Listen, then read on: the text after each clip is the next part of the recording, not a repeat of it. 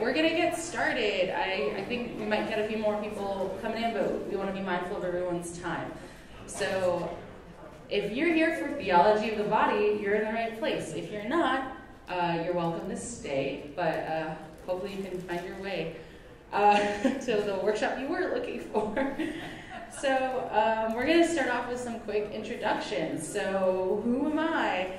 Well, I'm SueAnn Shiah, and um, Taiwanese American artist and like kind of like aspiring theologian and writer and filmmaker. I do a lot of random crap. So some of you know me from my memes on Twitter and or other random things I do. Uh, currently, I'm pursuing my Master's of Arts in Musicology at National Taiwan University. So I came all the way from Taiwan to be here with all of y'all. I'm really, really uh, thankful and really glad I get to be here. And uh, my next question is kind of who are you and who's in the room? So, uh, who here is a first timer? I'm so glad you're here. All right. Um, who here is from the South? Ooh. All right. Who came from the like the Northeast? Okay, Midwest. Oh, a lot of Midwesterners. They love their Florida. Um, I know I'm from Michigan, so okay, West Coasters. Any? Oh, oh, yeah, nice, cool, cool, cool. Um, great. Well, I'm kind of curious. Y'all can just shout out if you're comfortable why you decided to come here. Uh, so, did why did some of you decide to come to this workshop? Spiritual treat. Spiritual. Um, I love just like embodiment and learning about living in your body. Great, great. You have a lot of good things to say on Twitter. I want to hear. Thank you. Welcome. Uh, anybody? Or you're Taiwanese. Hey. My friends came and they're cool, so. Very good reason. Peer pressure. Sounds super nerdy and deep. You're nerdy and deep. Me too. I'm, I'm really glad that you're here.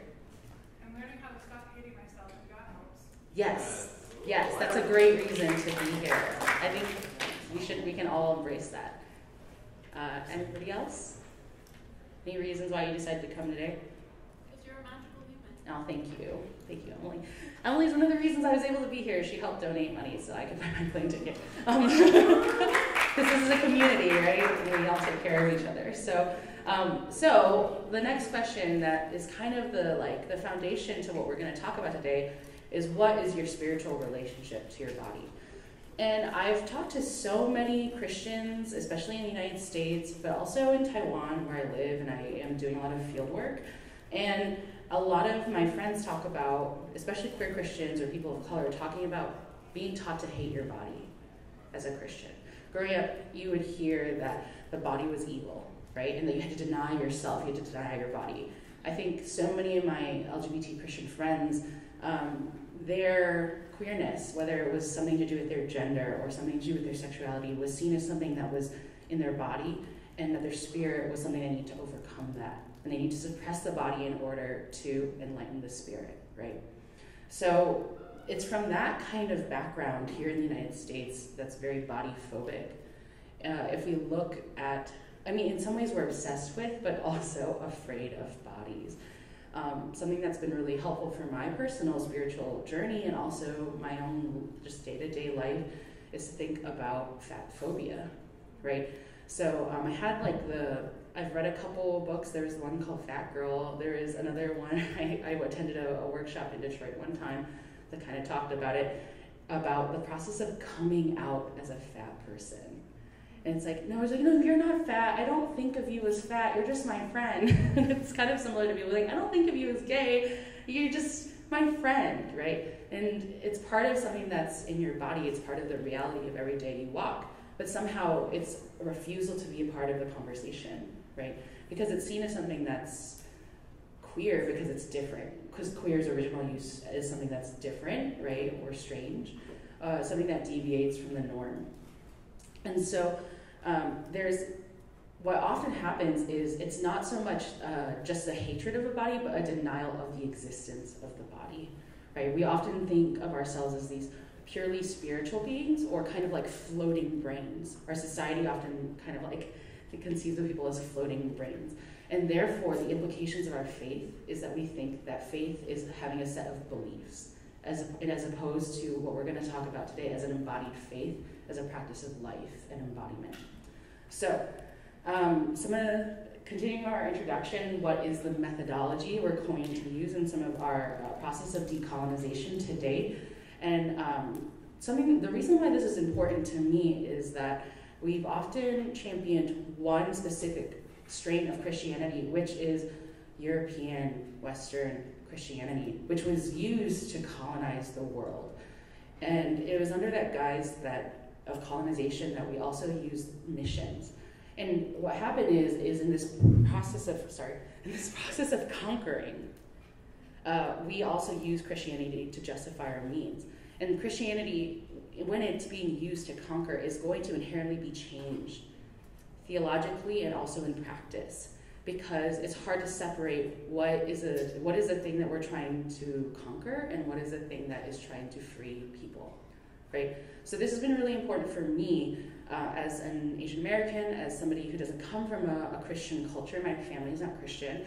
Is in my community sometimes people becoming christian would be seen as becoming more white right and for me it was a really important process to learn what it meant to be a Christian, and that didn't mean I became more white, but it actually meant I could be more Taiwanese, I could be more Chinese, and I could see the glorified, sanctified version of my community, my culture, right? Glorified through God. So, to do that, we're going to talk about examining cultures that are not European, Western.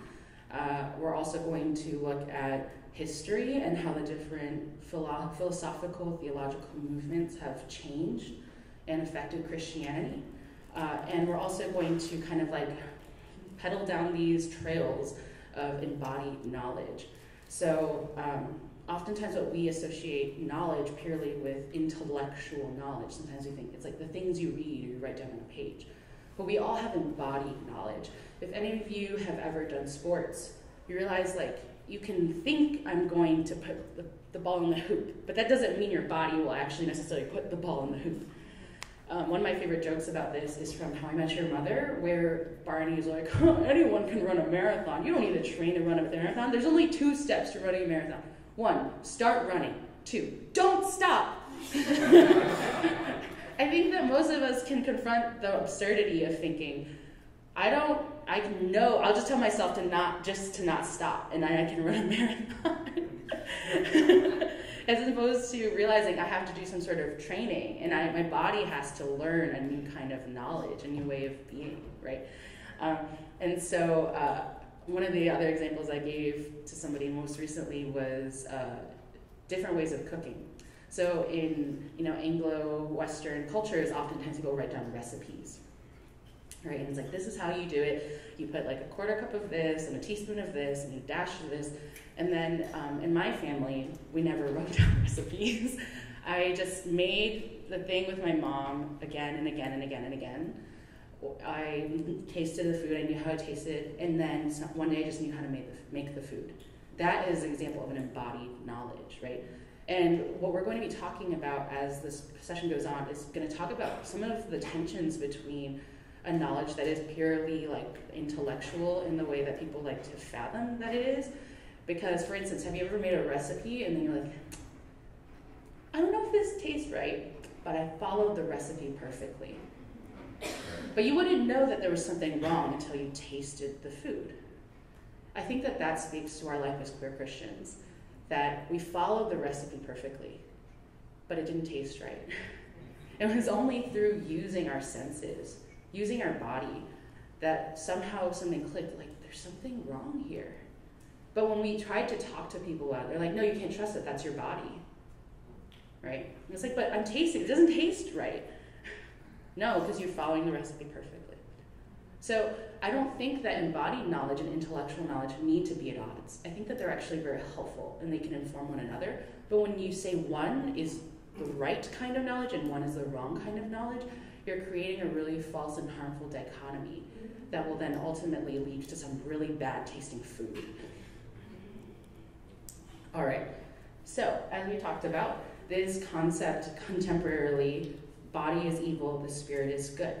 These arguments are often used against women, people of color, and queer people. So, have you ever heard people say that women are irrational and emotional, and therefore they can't make decisions? So, why, why is rationality seen as something that is valuable or more trustworthy? Why are emotions seen as untrustworthy?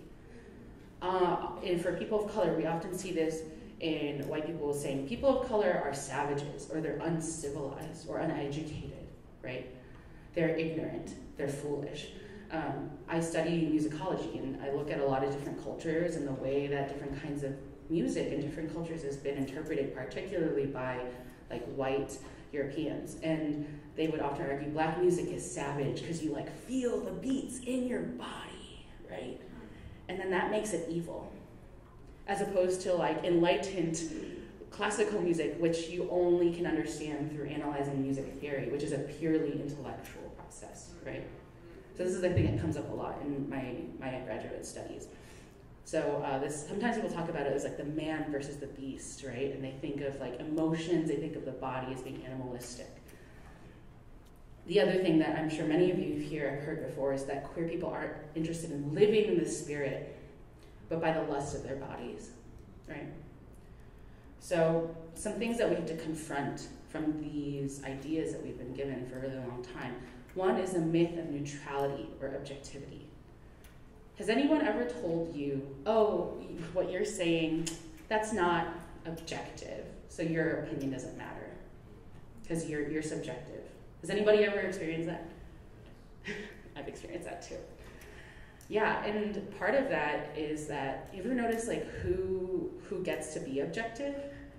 It's often a man. He's often straight. He's often uh, able-bodied, right? So that affects this idea that there is a pure human that is purely rational, that doesn't come up and, or with against any sort of bias or subjectivity, which is always connected to the body. So in some ways, there are one kind of body that is seen as the objective, normal body, and everybody else is seen as a subjective view that's different, like an add-on kind of like uh, if you're playing video games and you have a character and you can like add on features to them. It's like, well, the, if the norm that you get with the character originally is like a male, straight white man, it's like I can add on a sexuality feature. I can add on like you know like a color feature, but it starts from this normal thing, and everything after that it changes what that norm is, right? So uh, next step, what we're going to do is kind of look into how do we arrive at a lot of these similar kinds of understandings. Actually, I have one part I really want to share. Um, I was studying something for school recently, and we were reading about the issue with the the concept of the rational frontal brain. Have you guys ever like the front front brain is like where you make your decisions and you're rational, and then you have like your amygdala, and that like is your emotions and like all that. Well, what happens is they've studied people who've been in had traumatic brain injuries and if their emotional parts of their brain are damaged, they're not able to make rational decisions. So it doesn't matter that you're. Is there a problem? Okay, carry on. Um, so uh, that's an example of how we think oh, if I just leave emotions out of something, I can make a really level headed, rational decision. But everything we know, everything that is rational, is always connected to our body, to our emotional state. And if we took that piece out of the equation, we actually wouldn't really be able to make whole, thoughtful decisions. So, history in reverse. Um, as I was trying to figure out where did kind of like Western European culture come up with this, something kept coming coming up in in the verbiage and the kind of logic of a lot of people. So, uh, for those of you who may or may not know the brief history of Christianity, um, you know, for a thousand some years, the church was mostly Catholic, either Roman Catholic or Eastern Catholic, or we often call them Eastern Orthodox. And then um, the Reformation happened, and Martin Luther, and the Theses, and the knocking on the door of Wittenberg, right? So, and we often, te- I mean, at least for me growing up in, you know, America in public school, it was taught that this period of Reformation, it was connected to the Renaissance and then the Enlightenment. So these periods of time where art and science and you know, rational thinking were because they were all stupid and primitive during the Middle Ages. That was kind of what I was taught. Uh, they didn't read books, and people, you know, just trusted the church and all this stuff. So, um, you know, they're like, this is a championing critical thinking, which I love critical thinking. But there is the, these ideas that start to come up about rationality and trusting um, the scientific method. So, um, you know, for those of you who may or may not remember from school, scientific method is a specific way of figuring out and knowing certain things, right? So it's a method to define and create, create knowledge. If you examine the liturgical differences between Christian communities of these times and how they're reflected with their beliefs, for instance, um, something I've noticed is in like Baptist, evangelical, more like Reformation oriented churches, they tend to have really long sermons, like 40 minutes. But if you go to like an Anglican church or like a Catholic church, their homilies are like 10 minutes, right? And so you can kind of see how there's an emphasis on certain values over others. One is like, you really got to know this stuff, and I'm going to give you a bullet point list, and you got to know all these things, and that's how you'll be the best Christian ever, is if you know everything right? And another version says, I want you to eat this, I want you to smell this, I want you to feel these things, uh, and communicates using a different kind of practice. Now, I'm going to be real, I'm a Presbyterian. I love a good sermon, but I also love worship and I love music, right? I, uh, I know a lot of people are like, oh, I don't like it when the worship gets too emotional because then I feel like I'm losing control, right? And I know so many people are like, I love it when I worship and it's so emotional I'm losing control. the two different ways of looking at what your relationship with your body and what you associate sometimes with good and sometimes with bad. So we were talking about embodied faith, and I just wanted to uh, to share these two Bible verses that I thought of when I was working on my presentation. Now, faith is the substance of things hoped for, the evidence of things not seen. Hebrews 11.1. And then from James 2.14 to 19. What does it profit, my brethren, if someone says he has faith but does not have works? Can faith save him? If a brother or sister is naked and destitute of daily food, and one of you says to him, Depart in peace, be warmed and filled, but you did not give them the things which are needed for the body, what does it profit? That's also faith by itself. It does not have works, it is dead. But someone will say, You have faith, and I have works. Show me your faith without your works, and I will show you my faith by my works. You believe that there is one God. You do well. Even the demons believe and tremble. Faith is the substance of things hoped for. I think I often thought of faith as an abstract, floaty principle. And as I actually started to study the Bible more, because I think that's how people talk about faith. Instead of faith as something you can do with your body, that it has substance, right? As we continue in our history in reverse, uh, a big part of the Enlightenment period, a big part of the Reformation was the influence from Greek philosophers. So this is often known as a neoclassical period. So they thought of like the Greek Greco-Roman stuff is classical. So this is the new neo means new classical. So uh, if you often wonder if you look at art from that period, you're like, wait, why? I thought this is from the 1600s, 1500s, 1800s. Why does it look like a bunch of Greek and Roman statues? It's because they were influenced by the art of that time and the ideas and the thinking. So a lot of the leaders of the Reformation, Martin, Luther, and Calvin, and Knox, a lot of them were reading Greek philosophers, and that was really influencing the way that they interpreted the Bible. Now, I'm not saying that Greek philosophy is useless and without help. I think it's thoughtful and I think it's helpful, but I think if you rely too heavily on using one perspective to understand everything, then you get you can get really pulled away. So one of the things that's prevalent in a lot of that era of Hellenistic philosophy um, is Gnosticism and also this, this dualism of the body and the mind, or the spirit as, as separate from the body. So I don't know about y'all, but I was a teenager when the Da Vinci Code was really, really big. And I remember my pastors teaching us a lot about apologetics during time, and especially about Gnosticism and like the Gnostic Gospels. Anyone remember that stuff? so, did anyone remember what was one of the core beliefs of Gnosticism?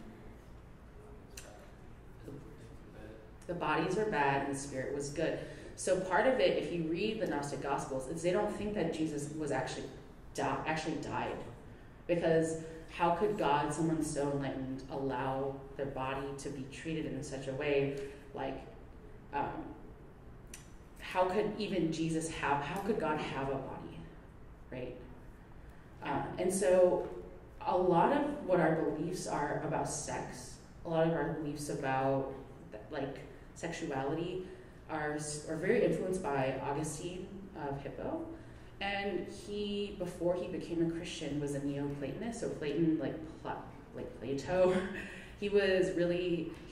You can see how he carried a lot of his beliefs about the body being bad, about sex being bad, into his Christianity, and how that's affected us today, right?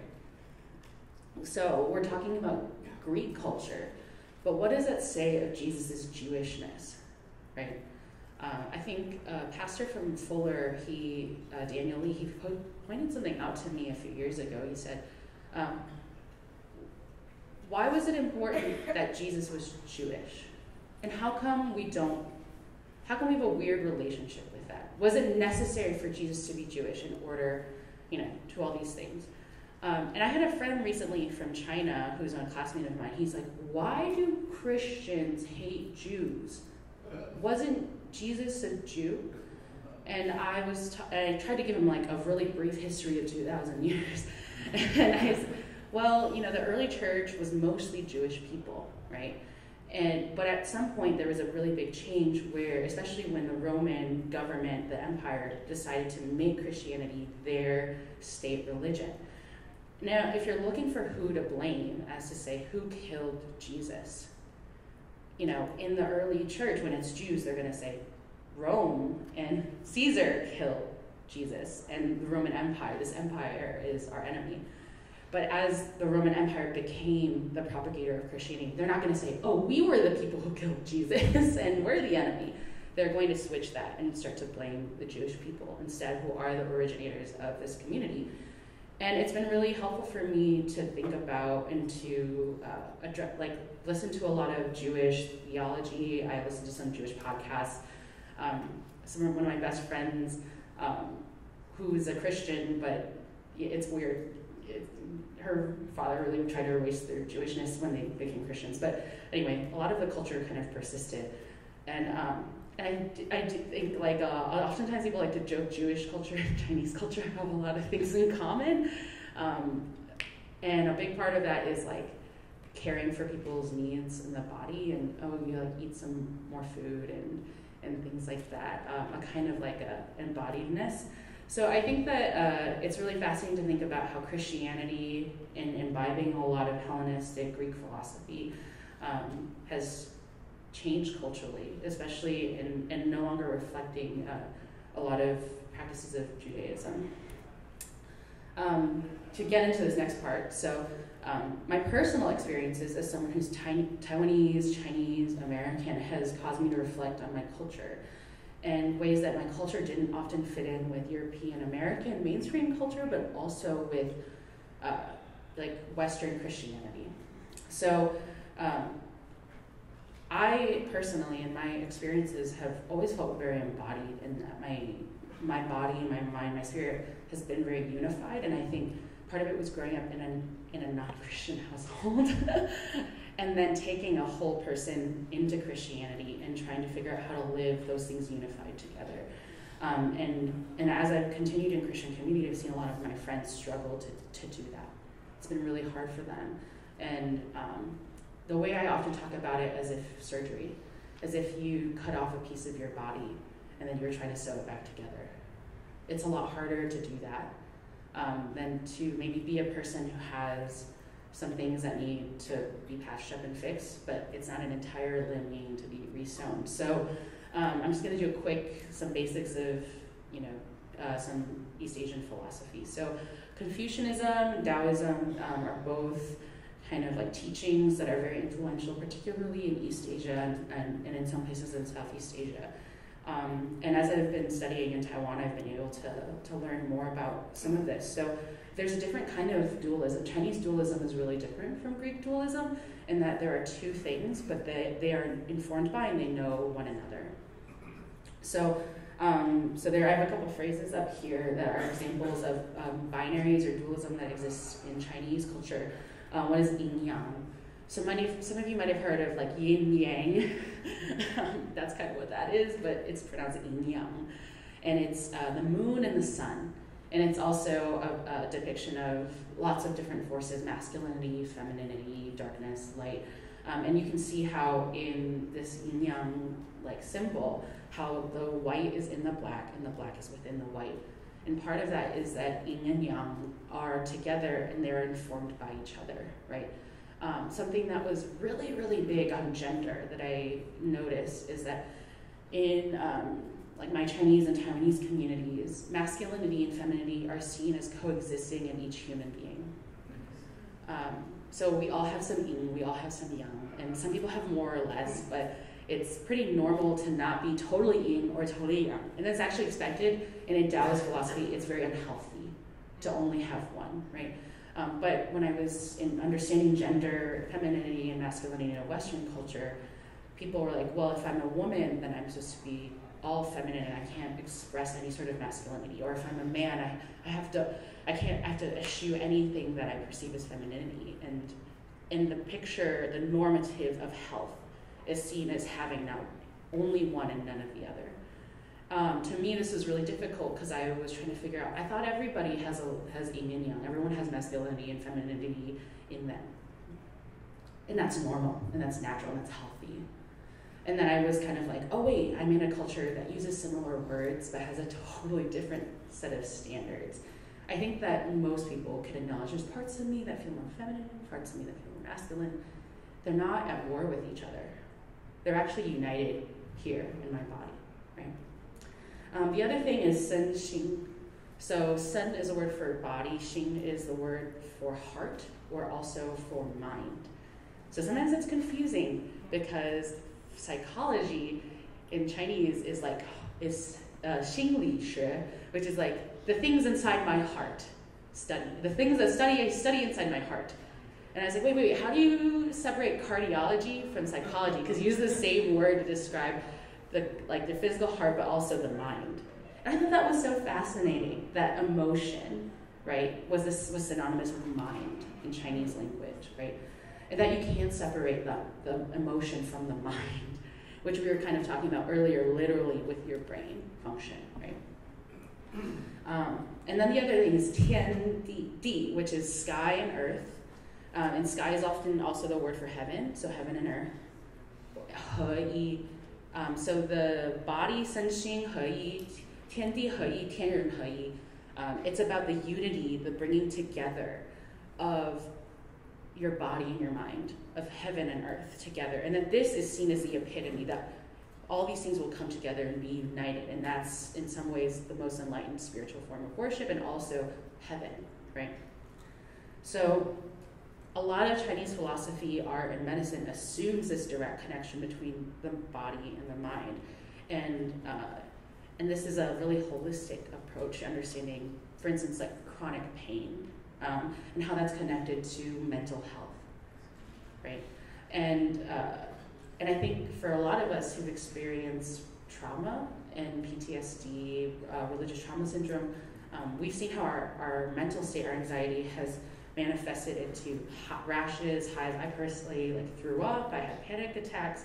The body and the mind are connected, right? And to pretend that we can separate mental health from physical health is in fact an, is an illusion unto ourselves.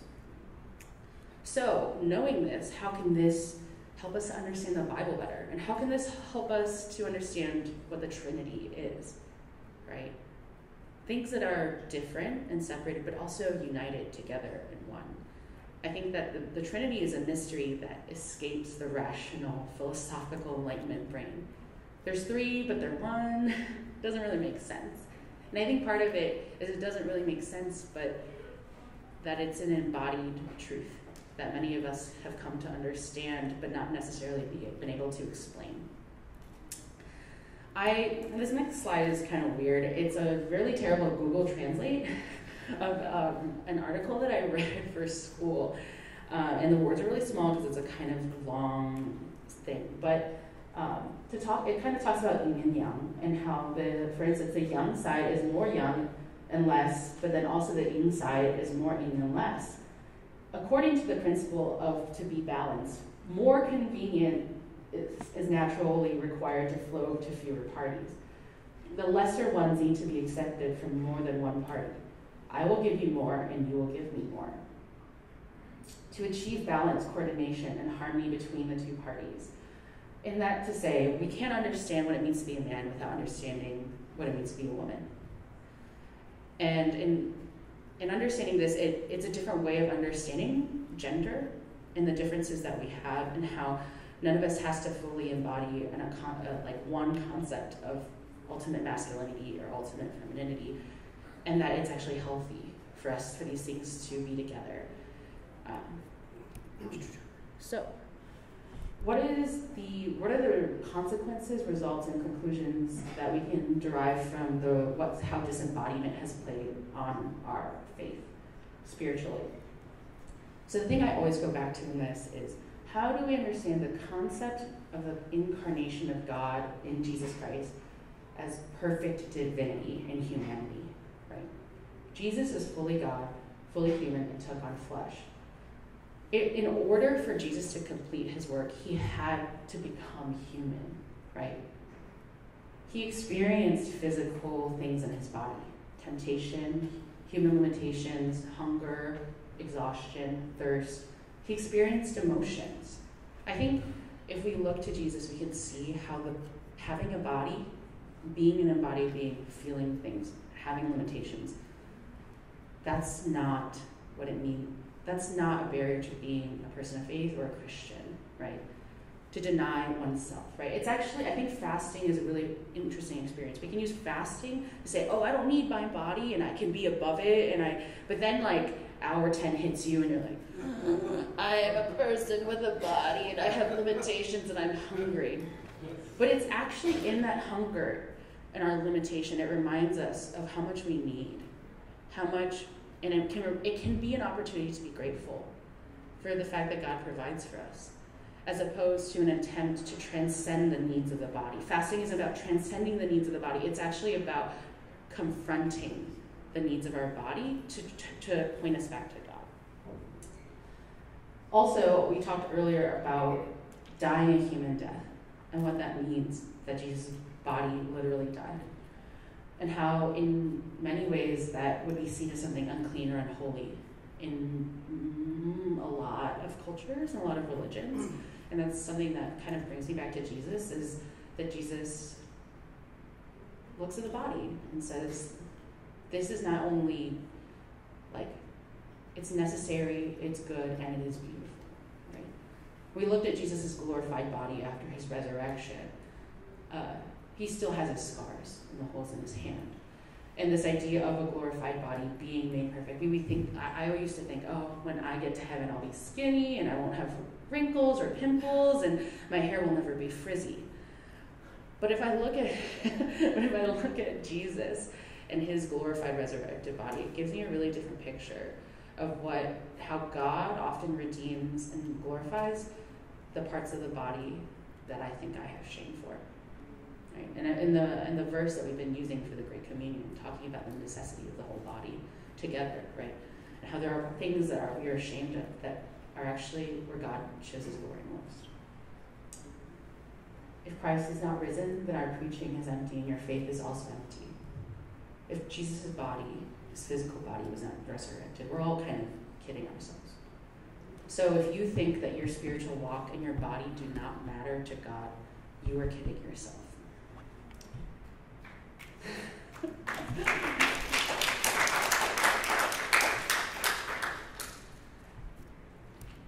to go on, there are lots of social, political, and also issues with medical science.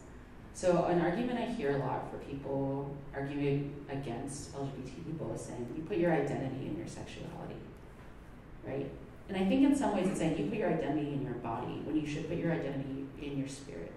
This is often, I also hear this about race and about culture, culture background. Oh, I don't see you as an Asian person, I see you as a person. Like, well, I am Asian and God made me Asian, so maybe you should, you know, think about how God glorifies me in that way, right? God made me bisexual. How is God glorified through my body as a bisexual woman? I think that um, what has been really helpful and really um, enlightening, I hate to use that word, for me, is to think about the history of the transatlantic slave trade in the way that that changed Christianity.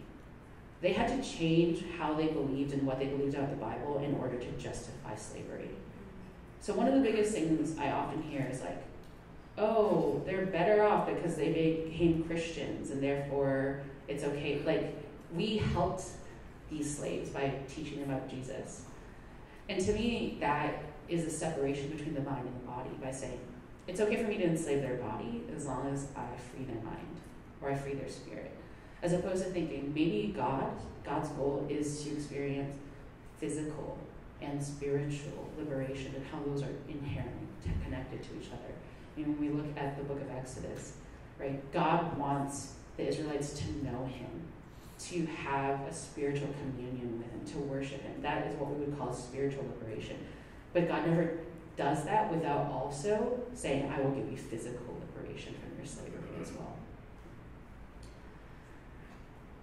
What, the, what happens on earth the body doesn't, the, I think that like this is part of the working backwards thing. We're understanding how do we get to this place where we say the body doesn't matter? It's because we had to justify certain atrocities in slavery and colonization in order to get to this place. And now it's led to all these, you know how like a good tree bears good fruit and then a bad tree bears bad fruit? Well, this bad tree bore a lot of bad fruit and then those, that fruit had more babies, you know, like, and there's more bad fruit. I feel like this is kind of like a second, third generation of bad fruit. I think a lot of this, this last point about the medical aspect is that I think a lot of us have experienced this the mind body spirit connection is closely related to our trauma experiences. And it's not, like I said, it's not enough to just treat one or the other, but they're united together.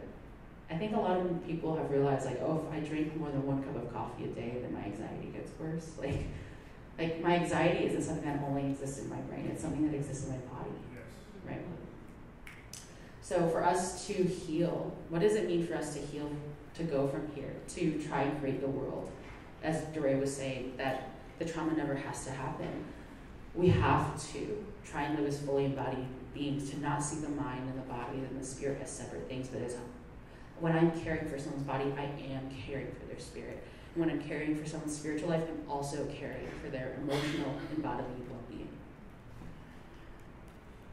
So, my last slide here is some discussion questions for you, but you can also ask me if you have any questions you want to ask. But what does it mean to be embodied, and what is embodied solidarity?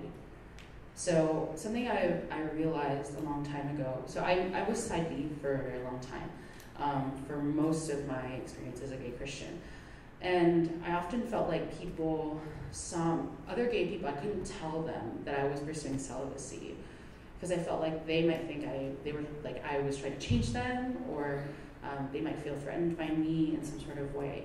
Um, but the reality is, I had more in common with other gay people than I did with straight people who necessarily agreed with me theologically, because um, I was suffering in the same way that, that that they were. My body was experiencing the same pain and the same trauma that they were. I think that straight Christians I meet, especially the non-affirming ones, they tend to think that they have more in common with people who share their theology than people who share their bodies. You know, um, I can pretend all day that I'm not like other Asians and I don't want to hang out with them, but at the end of the day, if a racist wants to call me a slur and beat me up, I won't be like, "What up? What are the good ones?" like, right? Sometimes we, I think we live in a world where we like to define people most by what they believe and what they think and their theological positions but our day-to-day experiences our embodied experience actually help us to share more with people who might not think the same things we do but live in a similar social position of marginalization that we do and um, and when i talk to you know I'm I'm affirming now, but when I talk to a lot of my siblings that are side B, you know, I can feel and I can hear in their voice. They know what I know, and they're experiencing what I'm experiencing, and that makes my conversations with them extremely different from non-affirming people who are straight, right? To me, this is what I'm saying that they are my sibling, right?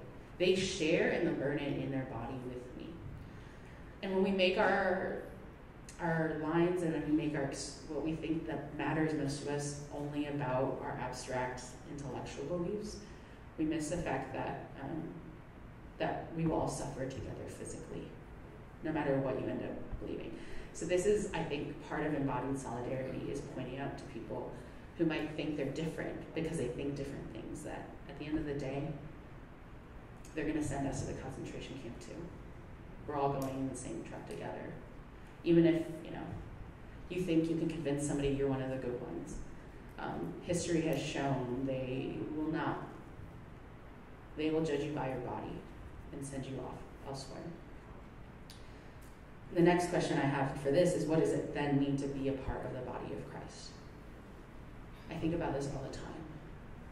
If there is a part of your body that you can no longer feel, that you can no longer have sensation in. If you were, if if I could know, if my let's say like I lost all the feeling in my leg, and then like someone crushed it or stabbed it or like burned it, how? That's the pain that my my my leg is still feeling that pain, but the rest of my body isn't necessarily conscious of that.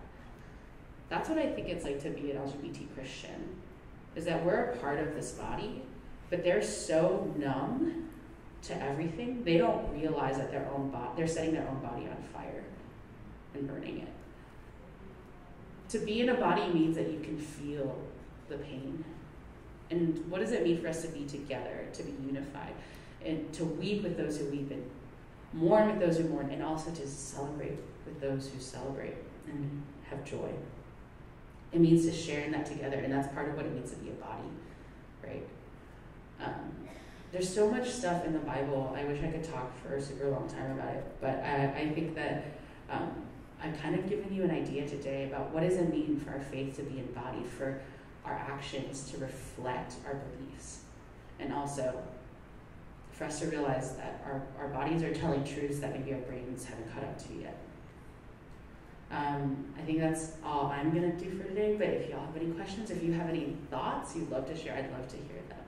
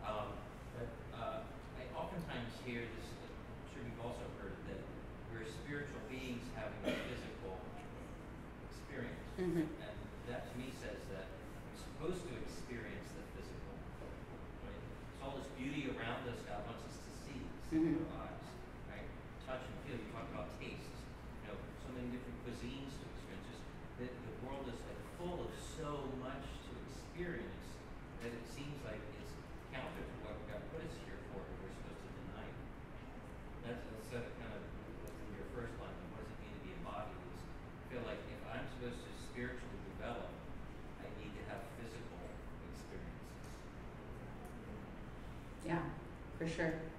And I'm curious, maybe you can reflect um, about the physical experiences you had in your Catholic upbringing, the smells and the tastes, and how that was a part of you knowing God as well. I feel it was a little more, like you said, kind of a little more sterile. It was more like kind of the denial of the body. Mm-hmm. You know, don't do. Th- it was always about don't do. Don't do things. Versus do something. Right? Yeah, communion doesn't taste very, very. Those wafers are really gross. my, my, my old church in Nashville, we would make the bread every week, um, and uh, it tasted so good. We would like eat the communion bread. I think that's like how, you know, not, uh, not um, what's the word I'm looking for? Gluttony for the feast of God, but you know, a true hunger for the to taste and see that God is good. it's an experience. Though. Yes, to experience. And, that, and that's where I think like sexuality is important too how could it be that God would create you know, gay people so that they can be abstinent and never have a partner, never go right? That doesn't, that doesn't make sense to me. Like, why would God go through this effort to create this complexity, this elaborate world, and these complex relationships for us to deny them and not experience them? Yes. And I think that a really important part is to remember that the mind and the body have to work together always. So if you only ever ate the things that you immediately wanted, you would be very unhealthy. I mean, I, I would be, and you would probably be very unhealthy. And so it's good that we do have higher brain function sometimes to be like, no, it's better for you to wait a little bit to eat dinner than to eat this candy right now. I'm, I'm thinking of talking to my three year old nephew. Um, it's like, you know, um, but at the same time, to never feed your body to say, I don't need that either, is really unhealthy. So we need these things to inform one another to be in health. And God made us as physical and spiritual, emotional thinking beings. Our, our, our critical thinking has to work together with our body and with our emotions in order to, to as opposed, I think sometimes people are like, the brain has to, like, the body has to submit to the brain, right? And this is very similar to the patriarchal model we see, where it's like women must submit to men. And that is how God designed it to work. As opposed to thinking, we must submit to each other. We must all, we must all submit to one another in order to be healthy. The body, the, the body, the, the mind and the body, they must submit to each other, right? As opposed to one having lordship over the other. How do you define healthy? How do we define healthy? How do we define healthy? I think that that is, a, I, I could answer that question in a very long way. I'll do my best to answer it in a short way.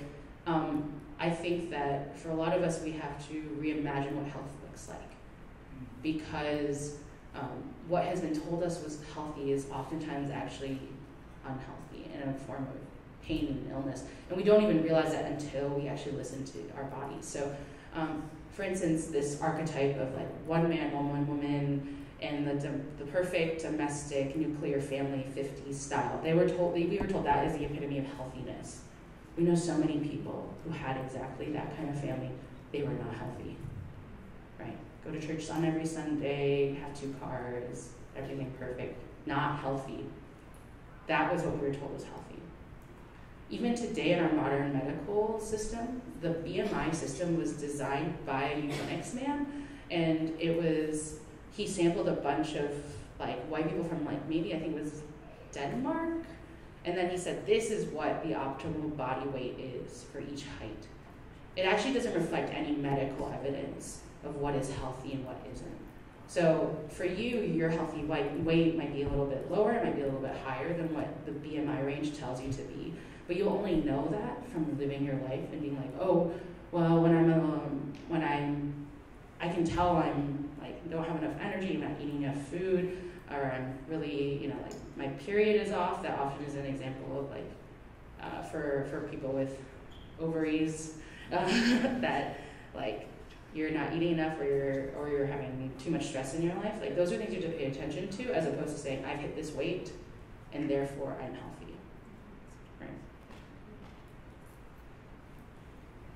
Um, I'm curious, because here's some of your thoughts on this. If you encountered anything that made sense to you, you prefer. Because growing up, like they're always like, oh, because Gnosticism is actually addressed in the Bible, and like the Bible says, like, oh yeah, like don't do this. Yeah. And then, and we would talk about that in like youth group and sermons, and then they turn around like the next week and they're like, but also, emotions are bad. And I was like, I was, I never really got it because Yeah. I was like, okay, like it's the, the, the words say don't do this, and then you're doing it, and they, I never could get a good answer. Yeah. So I was curious if you encountered better answers. Than As to why, or well, it just it seemed weird that I was like. I think the reason why they give those two answers is because they're disembodied, because they're They're, disconnected. they're making Yeah. the, the, the dissonance there. Oh yeah. Okay. And I think one of the I had a kind of theory about Chinese culture and being a lot more body friendly, and it was really fascinating. I spent last summer at this queer theology workshop in Hong Kong with uh, Asian, Chinese Christian, queer Christians from all over Asia, and I asked like a room full of queer Christians. I was like, "Do you ever feel like you were taught to hate your body?" And they were all like, "What? No. what does that even mean?" and I was- and I feel like if I asked like a room of queer Christians in the United States do you feel like you were taught to hate your body? They'd be like, duh, yeah. Like every person would raise their hand. I think that was a really big cultural difference between some, you know, at least like some Chinese Christian communities. I mean, a lot of Chinese immigrant communities and people who have really close relationships with Western Christianity, they also internalize those beliefs. But at least for me, as somebody who grew up Chinese, not in a Christian context, I was never taught to hate my body. Um, yeah. So I just wanted to take a stab at answering that question. Um, you know, the why, the why, why are they giving me these disconnected answers? And I think, you know, we have to realize, and this is a leap for some people, we have to realize that what we read in scripture, especially in the epistles, is sometimes an argument back and forth about what it means to be a Christian. It is not coherent. We try It's to not in context. Right, we try to apply that, cohe- assume that it's all coherent. It wasn't. It was differing schools of thought in different places. Um, and so you'll get pro and sentiment. Yeah, and I think that's why, um, in order to read scripture, you have to uh, use other scripture to read it, right? So for, uh, like we just said about submitting to one another, I think the, Bi- the Bible often has to submit to itself, right? And that's why it's inconsistent in certain ways, and, and it's actually in that wrestling that we can find a lot of truth, just like the wrestling we have with our mind and body. Um, maybe just one or two more. Uh, yellow shirt. Um, I was, uh, the, the, the issue of, of Gnostic thought, um, I think that we need to be much more aware of, um, that, that, uh, how that is influenced in, um, in scripture because, uh, part of the very act of crucifixion, um, is, in a Platonic way, is a way of surrendering that which is corruptible to become incorruptible. And then Paul uses that language of um, the uh, mor- mortal must put on immortality, the perishable must put on uh, imperishability. Um, that uh, that the Platonic thought behind that um, is is um, uh, is important for us to understand in that Paul is talking about immortality and imperishability, um, we are that we use that at, at funerals now. But Paul was talking about in um, the context of baptism that that we are able to step outside of that Platonic world and into the the uh, wholeness of Christ's body and the the um, um, in order to be able to embody our, to understand our embodiment in a new way. I yeah yeah. Outside How about of- eternal outside- bodies Yeah, as yeah. opposed to eternity being spirit only spiritual. Yes. Right. Yeah, Jesus Jesus is a good example of that. yeah, and I, I don't really I didn't get into this quickly, but I also think that um, our ability to engage scripture and our ability to engage our faith is always going to be shaped by our personal experiences and our bodies, and that um, there is no objective way to read scripture, right? Everybody comes with their language bias, their culture. I don't even know if I would call it a bias. I think I would just call it um, a new contextualization, right? And that God, because God is truth, can be revealed in lots of different ways, right? As God was throughout Scripture. Um, yeah. Oh yeah, I wanted to answer, and you, you already talking about the concept of your body is able to communicate and understand things before your mind is able to process Yeah. it. And one really great um, example of that that Nadia writes about in Shameless is something called terminal agitation, which is a really wild thing. and I'm trying to define it off the top of my head, but basically your body's response to your, your body like breaking down um, and it's out of your control. And sometimes that happens with your anxieties, with things that are just like past trauma is just erupting in you, and it can happen without your capacity to tone it and push it down. That's right. And so Nadia wrote about this one example where she was in a hotel room and just had that terminal agitative moment which is her past bubbling up right before she was about to give some really important talk. Um, so that I think is what it means to embody your faith in God communicating to you through your body of like, hey, I want you to pay attention to this trauma that's going on. Maybe you should talk to someone about it. Maybe you should pursue therapy. You shouldn't feel so alone and have a struggle. So, And I, I want to be careful too about things. I have a friend who struggles with his embodiment. He's a gay Christian, And he told me that he was going to work out a bunch because he wanted to feel really strong and to also have men thirst after him. And I told him that he was like, I want to feel in my body. And I was like, I don't know if this is actually the best way for you to feel your body is to want to feel like you can triumph over other people. Right? And I think I need to be really careful because sometimes we want to use the body to dominate other people too. And that is actually a spiritual, a, a desire for spirituals, like we talking about submission, power, lordship, uh, as opposed to a submission, right? So um, I think we're about out of time, but I'm really thankful that all of you came here today. And if you want to stay in touch with me, um, y'all heard I do a lot of Twitter, not as much as before, and I'm on Instagram, same handle right there. Um, feel free to message me, uh, add me on Facebook, email me. It's just my name, sueann.shiah at gmail.com talk. All right.